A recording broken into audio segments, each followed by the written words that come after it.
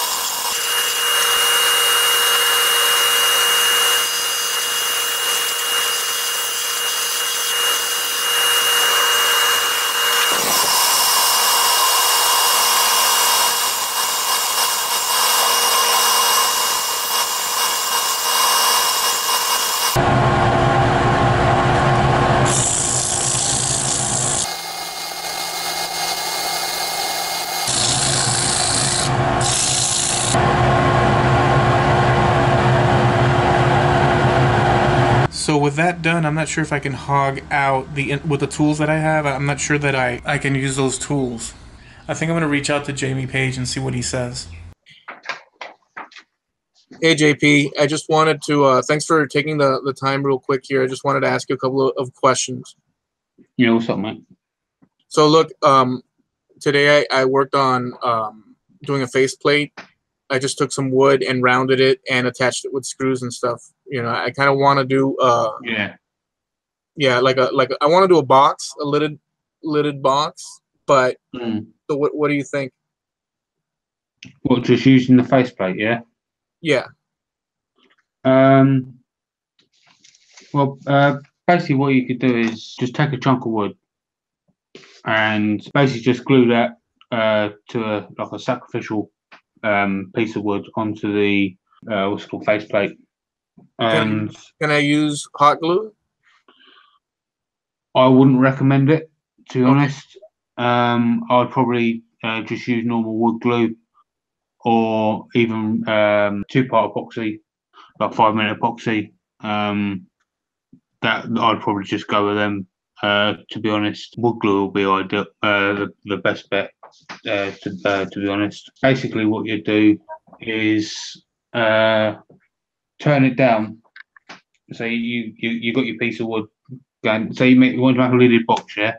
Yeah, I want a lidded. I want a Um, lidded box. Let's use this spare man-crafted mug. So you got your lid, you got your piece of wood on the on the lathe there, yeah. So what you do is is you you take the lid off, you spin it on the lathe, you you take out the inside, yeah, and then you cut your profile of the the the, the top of the lid, if you like, like the the locking mechanism, if you like, yeah, where it's going to sit.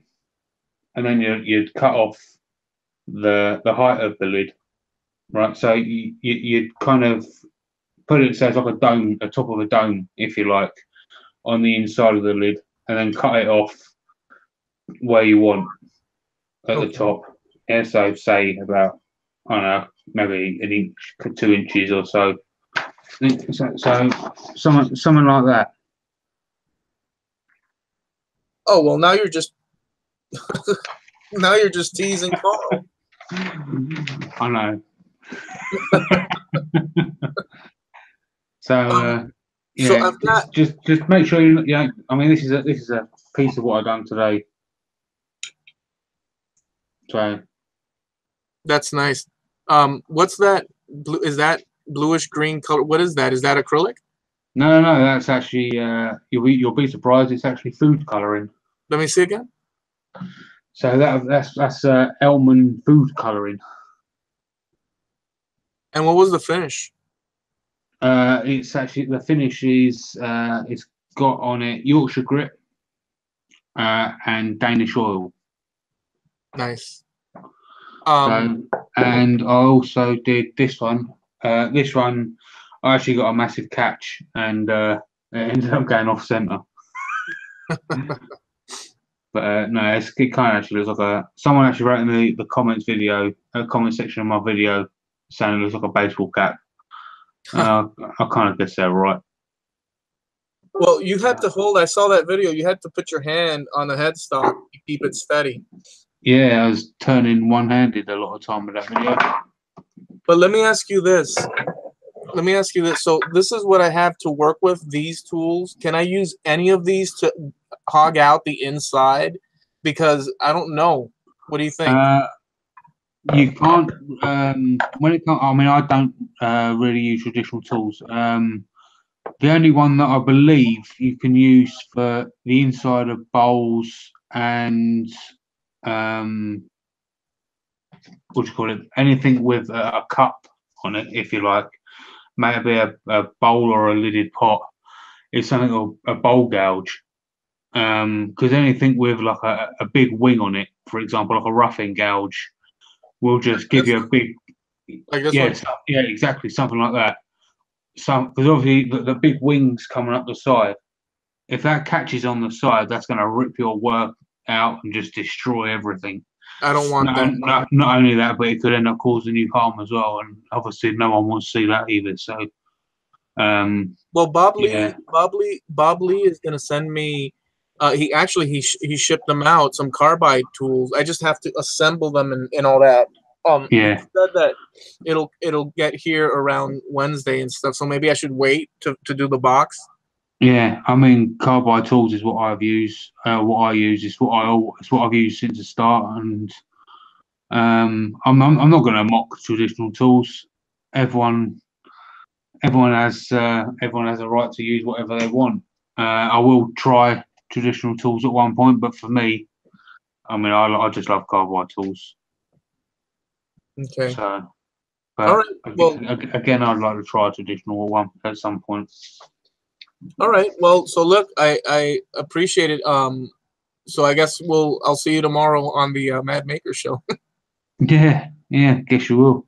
we've got uh, we've got Michael Zerker in the house. And no floating head today either. It's surprising. Well, no, because this is actually a non uh Mad Maker episode. yeah, non Mad maker show. Yeah, but surprised or not surprised, I'm still sitting here with my man grafted mug. All right, dude. Thanks. No worries, mate. Well, I hope you enjoyed this episode building that sacrificial faceplate. I am going to wait for Bob Lee's tools, which are coming in the mail. I just talked to him earlier, um, and those should be coming around Wednesday, possibly. So I'm going to wait till I have those and set that up to actually make a box. So if you enjoyed what you saw, subscribe, and I'll catch you guys on the next episode.